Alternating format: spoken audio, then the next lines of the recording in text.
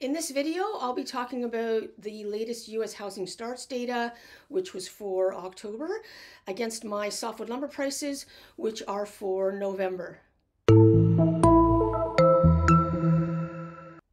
Hello again, everyone. Keta Kosman, publisher of Madison's Lumber Reporter, here at the end of November to talk about what is going on with U.S. housing starts, the latest data on construction activity, and what's happening with the lumber prices, which, as you know, gives you a good forward indicator of what to expect for the next housing starts uh, release because the lumber prices that I talk about are on time, are for that week. And so we had with lumber a leveling off there. Um, there was a drop following Labor Day for a few weeks, and then a leveling off for a few weeks. And that was on the benchmark Western Spruce Pine Fir KD 2x4 number two and better, US $490 per thousand board feet. And that lasted for a few weeks and is now slightly down.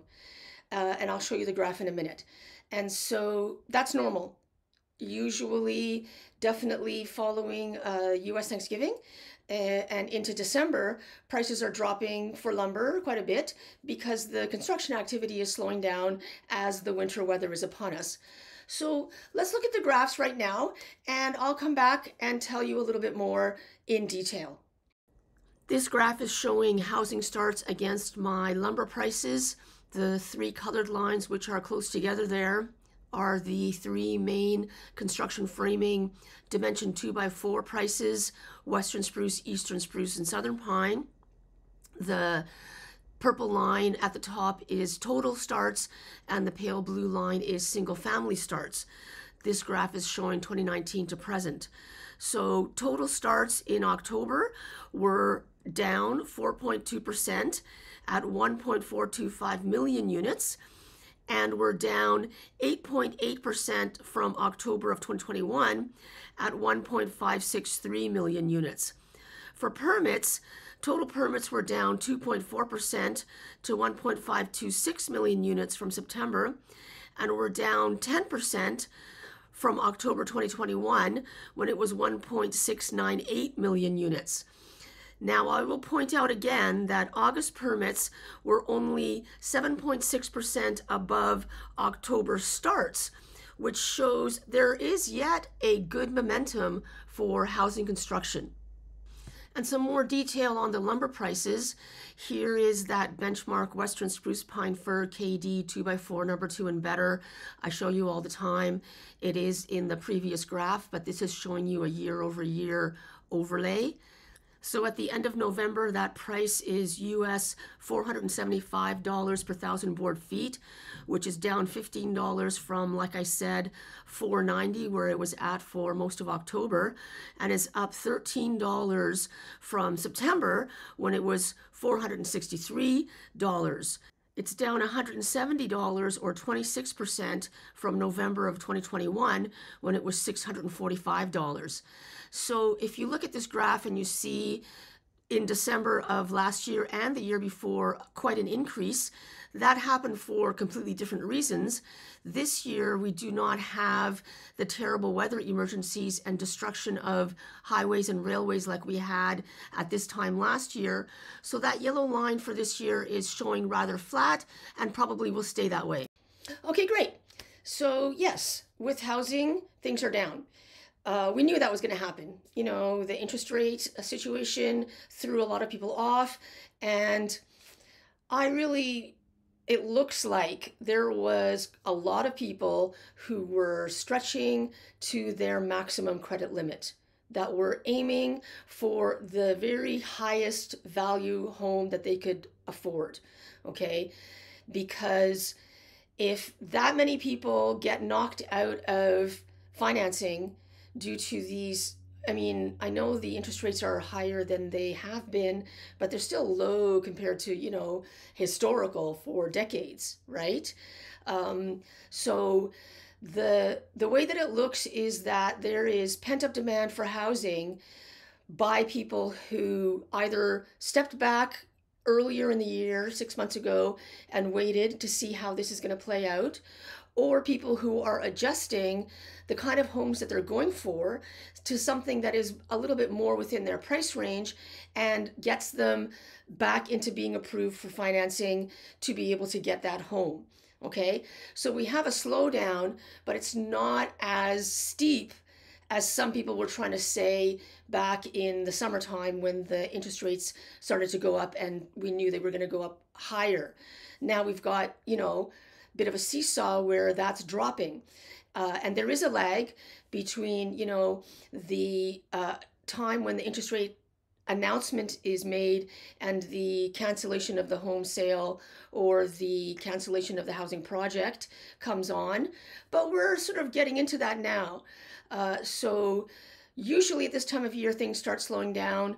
Yes, they're down compared to September, uh, but they're not really down by super bad. And full year to date for this year is close to full year to date 2021 in terms of housing starts. Single family a little bit down, but again, nothing lasts forever. It was, you know, almost two years of just a wild ride. Of course, there's going to be a recovery. The thing to be paying attention to is what's going to happen in the spring.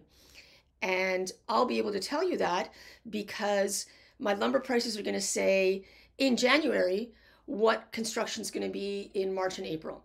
This is because the large volume buyers, the large builders, and the retailers make their orders at the very beginning of the year for the demand for the construction that they are expecting to happen in the middle in the spring and when uh, building activity is at its highest. This graph specifically is showing you single family starts. It is the largest component of new home building and it's quite important to the lumber industry because it is the uh, segment that uses the most wood. So again, the same three colored lines as the previous graph and then single family starts and single family permits there. As you can see, tracking really very closely to the lumber prices. We have single family starts for October down 6% to 855,000 units and permits down 3.6% to 839,000 units. So it's down, but that's normal for the time of year. It's going to be down in December for the release that we will see in January. Uh, and then it'll start climbing again a little bit um, if we take the normal normal seasonal historical trend. Um, there was 1.722 million units under construction, which is far surpassing the historical record in the 1973 building boom when it was 1.628 million. So, like I said, uh, it looks like there continues to be momentum for housing demand. It's not expected to be anything like the very highs that we saw during 2020 and 2021, which also brought the really high lumber prices. But it's not the massive crash that a lot of people started to say was going to happen when interest rates started going up earlier this year. And once again, my lumber prices for the very end of November uh, this week compared to last week are the pure weekly prices. The last month column there is the monthly average. You can see how um, there was a drop and then a leveling off. These prices are averaging somewhere between 23% and 44% down compared to one year ago.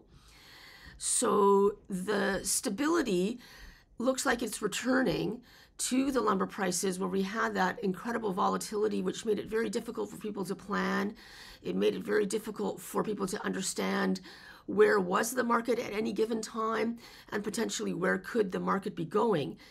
And a lot of people are suggesting that next year 2023 will uh, be a return to more flat or like more stable lumber prices as society has adjusted Wonderful. So that is a good picture of where we are at right now at the end of November, and you know maybe somewhat of an indication of what might be coming in December, but really more importantly, come back to see what I'm going to be saying in January and February because that's going to tell you what's going to be happening in the spring when the construction starts to ramp up again normally for the seasonal time of year. If you like what you see here, click like on the video so that it will get recommended to other viewers. Click subscribe here on YouTube so you'll be notified when I make another update once in a while when I have time. But definitely in the caption is a link to my website. You can go there to the subscribe menu, fill out a form.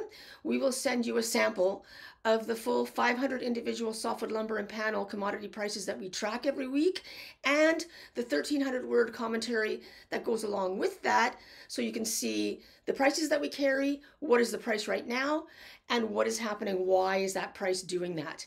Then, if you like the sample and you know that it will be useful for you, then subscribe to my actual dashboard and get all of this information every Friday morning when it comes out through your login instead of just waiting until we post on the website or I have a chance to make a YouTube.